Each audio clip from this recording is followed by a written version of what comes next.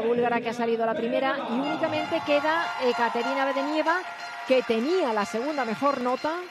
Esta gimnasta de Eslovenia, nacida en Rusia, compitiendo por Eslovenia desde el 2018 y Bedenieva que ha conseguido la plata en la final de aro, cuarta ha sido el ejercicio de pelota y aquí tiene junto con Nikolova las dos mejores notas. Tenía 31.550. Ahora con 31.550 se iría a la tercera posición porque está Nikolova en primer lugar y Adi Asia Katz, la israelí, con 32.350 segunda.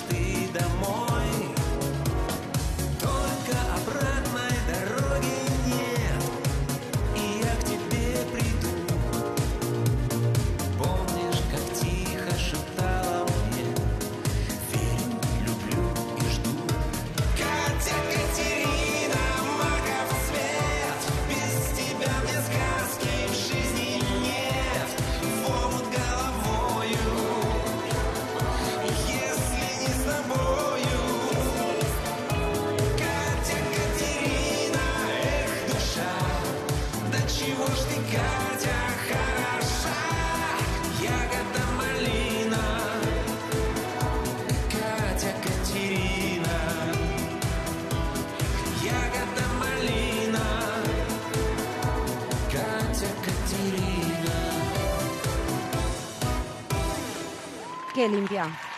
Pura escuela rusa.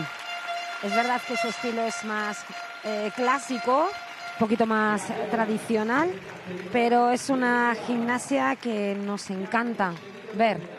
Hombre, la escuela, la escuela, la hechura, el físico, eh, es ruso 100%, claro. Eh, la oportunidad que tienen también de poder competir con otras nacionalidades porque el tapón que se forma con tantísimas gimnastas rusas como hay, competir con otras nacionalidades. Hemos visto pues Alemania, Israel, ahora vemos a, Eslovenia y bueno, es un trabajo muy bueno. Tu madre también es entrenadora y es la que le incitó de pequeña a hacer, hacer gimnasia. Y bueno, es Mira qué giro, una actitud. Claro, la pierna, la pierna de arriba, o sea, la, que no la de soporte, sino la de arriba la lleva en ángulo recto. En otras gimnastas vemos que, que no hace, que hay un gradito, 10 graditos menos. Mira, aquí lo lleva adelante, que es, es, uno de los giros que más estamos viendo. Este es uno de los ejercicios, ¿vale? De los elementos que están metiendo mucho con este código. Digamos que son las dificultades de aparato relativamente fáciles, ¿eh? Porque eso de estar a lo mejor tumbada y la pierna y ahí hacer un, molino no es cosa fácil, pero eh, se lo estamos viendo a muchas gimnastas.